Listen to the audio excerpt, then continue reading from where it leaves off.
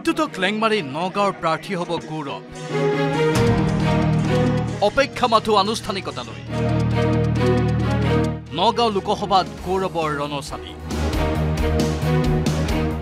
কংগ্ৰেছৰ প্ৰাৰ্থী তালিকা ঘোষণা হোৱাৰ পূৰ্বেই কলিয়াবৰৰ সাংসদ গৌৰৱ গগৈয়ে ইতিমধ্যে নগাঁও লোকসভা সমষ্টিৰ বহু ঠাইত চলাইছে নিৰ্বাচনী প্ৰচাৰ।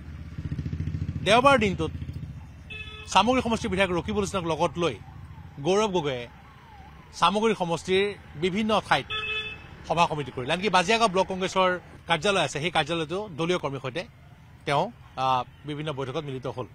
আৰু এই কথাই পুনৰ প্ৰমাণ কৰিছে যে যিহেতু নগাঁও চামগুৰি সমষ্টি বৰ্তমান নগাঁও লোকসভা সমষ্টিৰ অন্তৰ্গত গতিকে গৌৰৱ গগৈয়ে এইবাৰ পুনৰ কলিয়াবৰ কাজিৰঙাৰ সলনি নগাঁৱৰ পৰাই প্ৰতিদ্বন্দ্বিতা কৰিব নেকি? লোকসভা নিৰ্বাচনৰ বাবে কংগ্ৰেছৰ প্ৰাৰ্থী তালিকা ঘোষণাৰ পূৰ্বেই নগাঁও লোকসভা সমষ্টিত ব্যাপক প্ৰচাৰ অভিযানত নামি পৰিল কলিয়াবৰৰ সাংসদ গৌৰৱ গগৈ। কংগ্ৰেছৰ ছেফ জোন হিচাপে পৰিচিত নগাঁও লোকসভাক লৈ প্ৰত্যুত আৰু গৌৰৱৰ মাজত প্ৰাৰ্থিত্বকেন্দ্ৰিক সংঘাত চলি থকাৰ মাজতে গৌৰৱে বিধায়ক ৰকিবুল হুছেইনক লগত লৈ দেওবাৰৰ দিনটোত চামগুৰিত বিছখনৰো অধিক সভাত ভাগ ল'লে। শাসকীয় বিজেপিক কঠোৰ সমালোচনাৰে দুয়ো কংগ্ৰেছক ভোট দিবলৈ আহ্বান জনালে। আশ্চৰ্যজনকভাৱে অধিকাংশ সভাতেই পৰিলক্ষিত হ'ল সমৰ্থকৰ সেৰেঙা উপস্থিতি।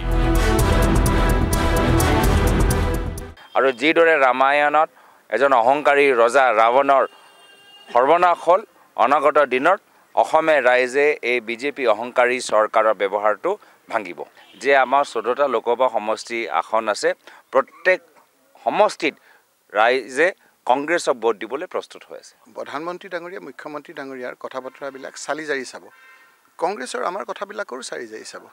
মোদী কা গেৰেণ্টি সেই গেৰেণ্টি চাব যে দুই কোটিৰ গেৰেণ্টিটো হ'লনে নাই। পোন্ধৰ লাখ টকা ইউই অহা যায়গা বুলি কৈছিল। সেই পোন্ধৰ লাখ টকা আজিকালি মোবাইলত আপোনালোকে চাব মানুহবিলাকে চাই থাকে উল্টা নিজৰ জমা পইচাৰ পৰা কাটি কাটি লৈ যায়গৈ।